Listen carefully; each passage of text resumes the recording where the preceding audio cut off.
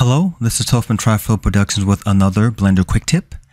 And in this quick tip, I'm going to show you how I can use a an add-on called the Kit Bash or KitOps add-on.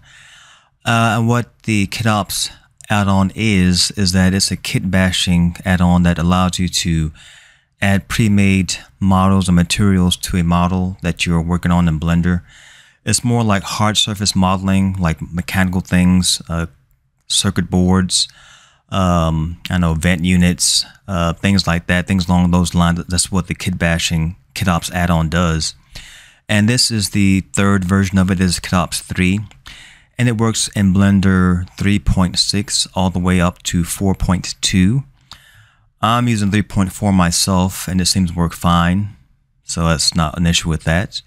And it renders in Eevee and in cycles not all of it does. Some aspects of it render in Eevee, some aspects of it render in cycles. Uh, and it's not only you have to pay for. It's like $35 for the for, for the price. It's not that bad. Uh, but I'll leave a link of it below the video so you can download yourselves and check it out. But the installation process is somewhat the same and then somewhat different. And I'll show you how to install the K-Pack so you can purchase with the add-on itself. Now to install the primary add-on itself, uh, once you download it onto your system, go to Edit, Preferences, uh, Install, navigate to where you've downloaded onto your system, click on that zip folder and click on Install that on. I've already done that myself. Uh, you can see it's right here, KitOps. Um, and you put a check in the box to activate it and the uh, it's got some parameters here that you can change in terms of the way you want the add-on to perform and kind of act inside of Blender. Uh, you can change the offset on the X and Y axis, uh, the Boolean solver, uh, exporting settings, and port settings, and so on and so forth. And file paths this is where you can install the K-packs that come with the add-on. The K-packs they contain uh, other model aspects, pre-made models of the uh, for the add-on and textures too. Uh, you can just search for you know things in the master folder, and so on and so forth. But we're just going to focus on the file paths to install the add-ons. Now uh, there are two ways you can install it.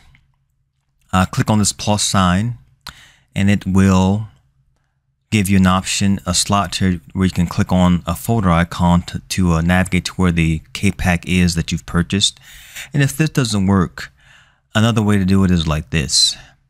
You can click on this folder or left click in this parameter, this space here, and then press Control C because this is where the K-Packs, uh, the default folder for the K-Packs are stored on your system. So instead of you trying to navigate and try to find it yourself, just left click in there, let this all be highlighted, press Control C on your keyboard to copy this uh, address here, so to speak. Uh, and I'm going to open up a folder. You should be able to do this, you know, without being shown, but open up a folder on your computer. So I'm going to right click on that folder icon and left click on File Explorer. Uh, left click in this space here, press Control V to paste that, enter. And these are all, this is this place where the K-Packs are for the KitOps add-on are held or are stored. Now I'm going to go to where I have some K-Packs on my system. And they're all in zip files here. I'm going to extract this one here.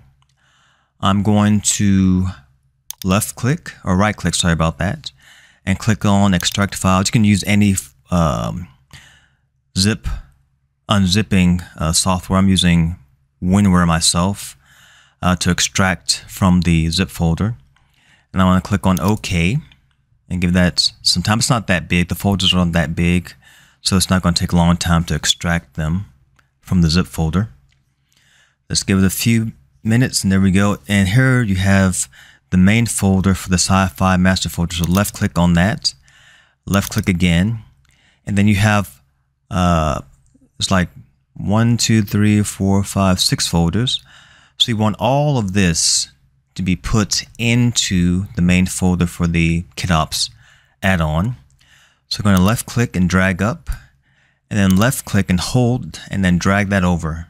And this is going to transfer all these files from the uh, newly unzipped sci-fi master folder over to the KitOps master folder. And I've already done that. You can see you can see controls, circuit controls, decals, decals, and so on and so forth. And that's what you have to do for every zip or every KPAC zipped folder that you have purchased for the add-on. And once you've done that, it's available to use in the add-on. Now, after you've done all that process, the add-on's ready to use.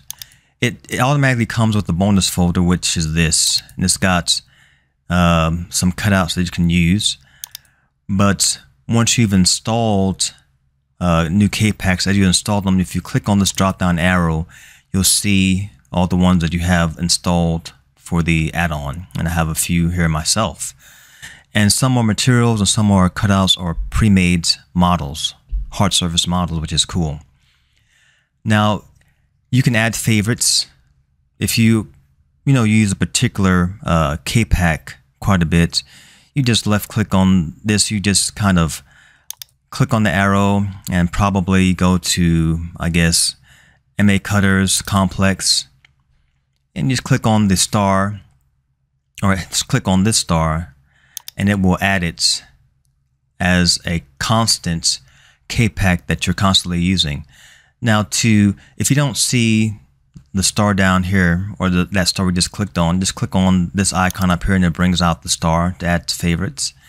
And this star is, or this icon, I guess you can say, is is what is used uh, in terms of you using um, the KPACs. Because as you use different K-Packs, they'll start to appear up here. If you click on that, it'll actually appear above. This is the the uh, the recently used KPACs. So you can see I've used a few of them already, and it's kept them in the timeline.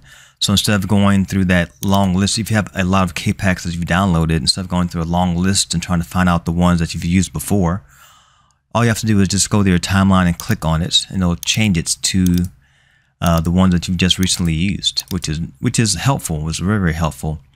So in order to use the KPACs, and now some of the, the K-Packs come with just uh, models that can pretty much just be used on their own. Like this one has a stool and it. It's got uh, a wooden block, uh, a brick wall, so on and so forth. Uh, a doorway. It's got two doorways. Uh, I guess these are windows, so that's pretty cool. But we're going to go to, let's go to another K-Pack that I've, I've used. This is like a I think this is like this is actually like a, a fan for a, a CPU unit or a computer. And in order to use this model on this pre-made KPAC model on a model that's used in Blender, make sure that your model is highlighted. We're going to use this cube uh, as an example. And click on Add Insert, and then just hover your mouse uh, over here where you want the KPAC to appear. And the cool thing about some of these is that they're animated. So if we go back in our timeline and we press play, you see it spinning. And that's pretty cool. It saves a lot of time in, in terms of you having to animate it yourself. It, it's already pre-animated, which is really, really nice. Now, there are materials in here also. So we can uh, click on that drop-down arrow. And KO Metal is a material. Click on that. If you left click on that uh, icon there, or that thumbnail, it's got you know some pre-made preset materials here. Let's see how these look inside the viewport. Uh, let's change this to change our sky. Left click on that icon there. Left click on our color uh, tab there. It brings up the color wheel, makes it a little bit brighter. And make it a little bit, let's say yellow. That's good enough. And we're going to change this from, because I think this is only this part, this particular material works in cycles. So if you click on the drop down arrow once again, you can see that it says Eevee featured. So this works in Eevee. This can work in Eevee. There's a picture of the, the developer there. You know, that's that's him. That's the guy that made the uh, the add-on. Uh, but with this particular metal material, I think this only works in cycles. So we're going to go to gold, shiny. Let's left click on that. And we're going to change our viewport uh, click on render properties, turn from Eevee to cycles, and if you have a strong enough uh, GPU, turn from CPU to GPU, And I'm going to change the render samples from 4096 to 128, which is more than enough. Enter. And click on this icon to change our viewport. And this is what it looks like. So we can click on um, this fan here, this any part of it. It comes in different sections. Click on the middle part. Okay, then click on add material and it turns it to that gold material. It's not as reflective because we don't have anything in our scene for it to reflect anything into here. But if you have like, you know, a building or trees like it appears here, you'll see the reflection in that material. Left click on our blades there, add material, same thing. Even click on our cube, add material. It gives it that gold color, that shiny gold color. But yeah, it's it's very very simple to use, very very intuitive. Um, you can click on uh, the bounding box, I guess you can say, and can change the the parameters that you can use to change the way this appears. Um, select all inserts, select one insert, duplicate it, delete the inserts, relocate it, edit inserts. So you have all these uh, parameters that you can adjust and change. And you, if you look further down, you can still have more adjustments made uh, down here in terms of the modifiers on the X, Y, and Z axis, increase the counts. Um, the controls here for large, medium, small. If you want the uh, pre-made models to be large, choose that, make them medium. But I think you have to actually, oh, it actually, because on the older models, you have to, the older version of the uh, app or the add-on, you would have to choose what size you want it to be first and then choose the model. Then it would insert it according to the sizes you chose. But this does it on the fly, which is great. Small, increase the scale of it. So this is pretty cool. This is they made a lot of improvements to it. You can uh, click on where you want it to be aligned, uh, top, bottom, on the side, so on and so forth. Just keep in mind this is more like a hard surface modeling tool. Uh, curved surfaces, you could might have a challenge in terms of applying these models to them, but on the flat surface, it works great. You have more tools down here. So it comes with a lot of uh, parameters you can adjust to. And like I said, it, it's a kit bashing add-on. So you don't have to just stick with one model. You can click on the cube again. Uh, let's go to, let's see what else we can pick here. It says MA Objects Complex. Let's left click on that. It's got a fan on that one too, but let's click some, let's choose something different. Uh, let's click on that one and then add inserts and then click on that and that's how you can start building up complex looking uh, models in Blender by using this kit bashing add-on. You can you can add as many as you know seems reasonable and the um, rendering time isn't that bad. It's it's actually pretty fast. If you were to model this stuff yourself, it would take a long time, and you know it would take a long time also in terms of rendering it. But as I said before, it's non-destructive. You can click on this icon. Actually, this model, sorry about that, and move it out of the way. Let's move our, move it up a little bit. And you can see that it doesn't affect the cube at all. It's reflective because we added that gold material to it, but the cube is still the cube. And if you insert the fan back into it, like that, it fits perfectly into it. There's no uh, issues with the geometry, no weird looking effects from it. It just works fine. So yeah, that's this is the KitOps 3 add-on. It works great. It's, I think it's one of the top add-ons in Blender when it comes to hard surface modeling or kit bashing. It does a really great job in terms of um, adding materials or adding models to your pre-existing models in Blender, hard surface models.